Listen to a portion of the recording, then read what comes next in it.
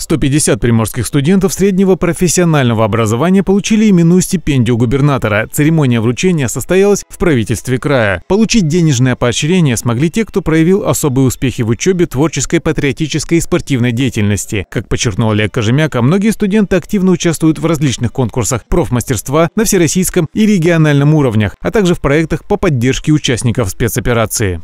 Именно э, среднее профессиональное образование э, дает возможность человеку чувствовать себя независимости вне э, тех влияний или временных перемен, которые происходят в нашем мире.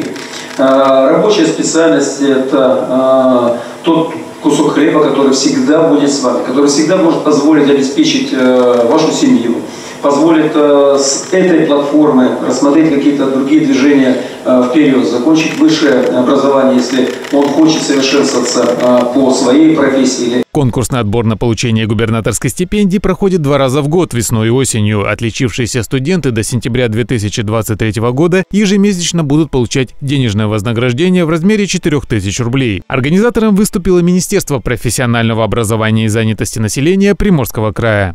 Хочу пожелать, чтобы дальнейший жизненный путь был связан с нашим родным Приморским краем, как он связан и вот у нас, взрослых, которые здесь всю жизнь, и наши где-то родители были, нам точно есть что здесь развивать. Нам точно есть чем восхищаться.